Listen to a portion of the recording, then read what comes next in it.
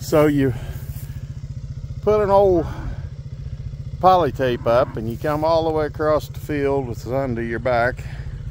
And you got cattle up here that really want to be moved.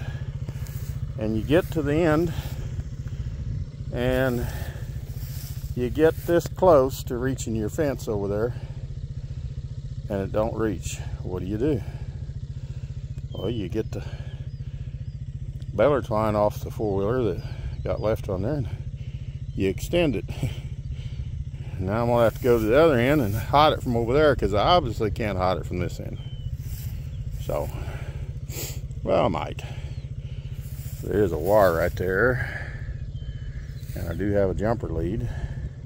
So I could hide it from this end but as you can see I am out of tape.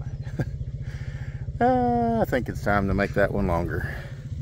Natural Gramma putting up fence she was having this great today